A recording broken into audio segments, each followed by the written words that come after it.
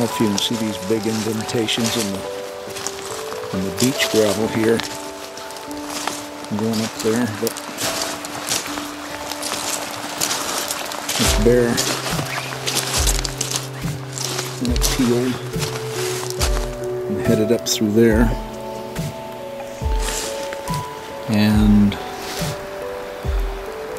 there's our camp right there.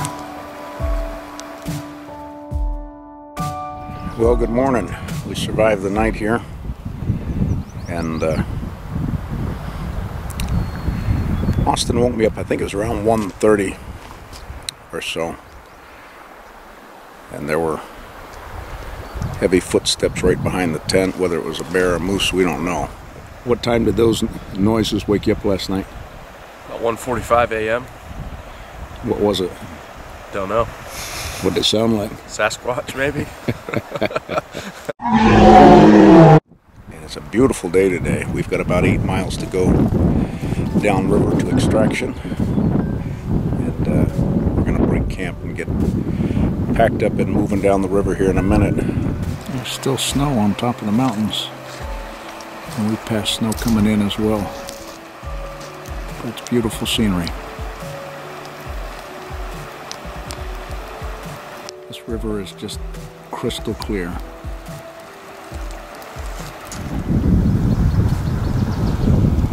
I'll tell you what'll wake you up quicker than a cup of coffee in the morning is doing an old-fashioned bath in that river, which I just did. And not the full plunge, but I am fully awake after that. I thought I'd let you see what we're using for a fly rod for those that are viewing that are interested. Uh, this particular rod is a seven piece, eight and a half foot five weight.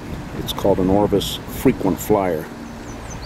And you did hear me right when I said seven piece. It folds down into a little kit that you can put in a carry on. And then for a reel, I've got an Orvis CFO here and uh, five weight weight forward line.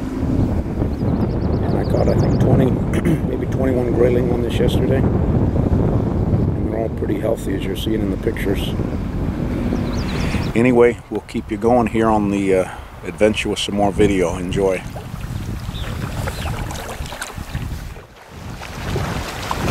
We hopped out and we're walking down through here in this riffle. The water's pretty shallow, and uh, as you can hear, there there's some rocks that are sticking up. Because all you have to do is hit a rock and go sideways, and people underestimate the current of the water. Flip their canoes, lose their gear, get wet. All of which I have no desire to do today. If you're in a canoe, waders are a great call for doing what we're doing today when we need to get out, in and out of this boat, walk it, portage it, whatever we're doing. Just make sure you've got a belt snug so that no water, if you were to fall in, you don't want any water getting in those waders. And uh, so we're back at it after going down through that riffle. Nice one. Hit that muddler minnow.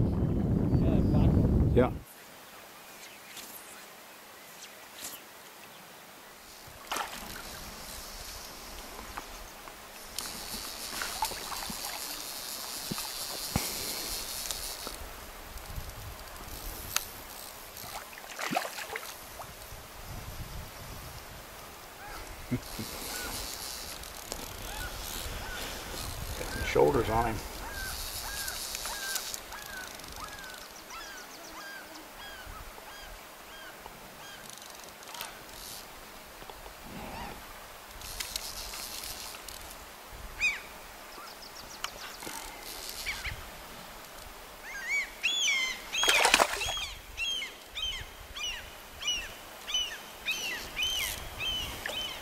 Wow.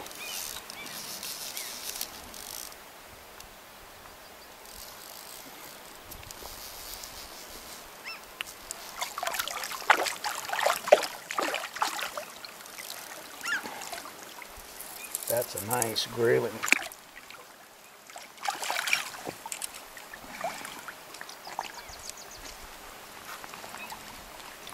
Just swallow that, maybe.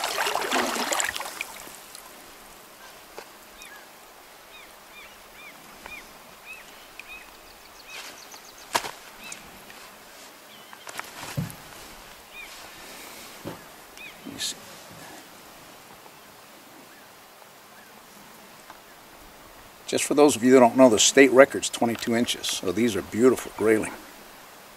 Incredible dorsal fin. Let me get him back in the water.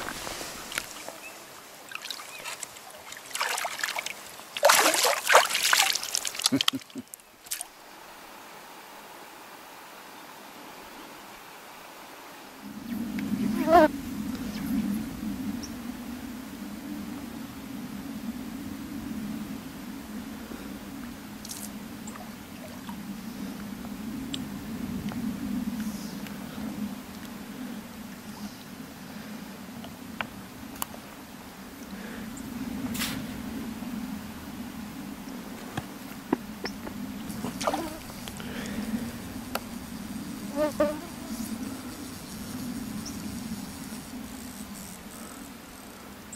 just woke up.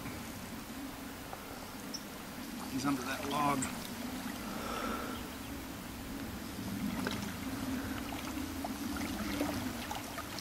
Get under that log.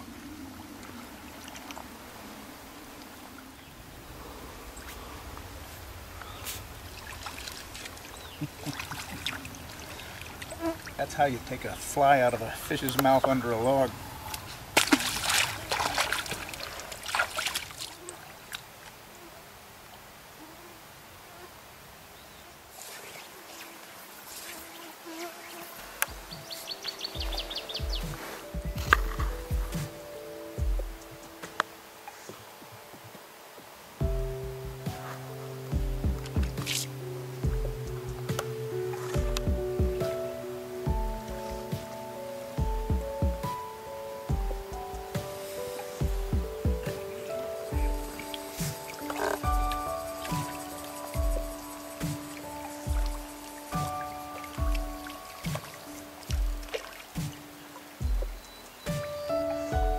There's some hefty fish in this hole.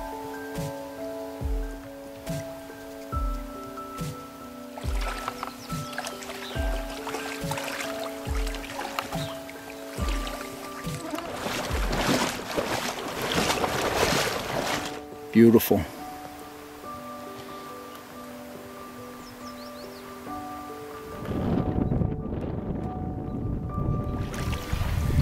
Well, here we are on the final stretch.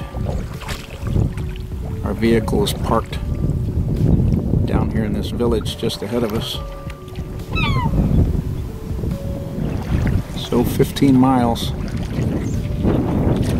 We're down to the last less than a mile. One of the greatest canoeing trips I've ever had. The town of Council, Alaska.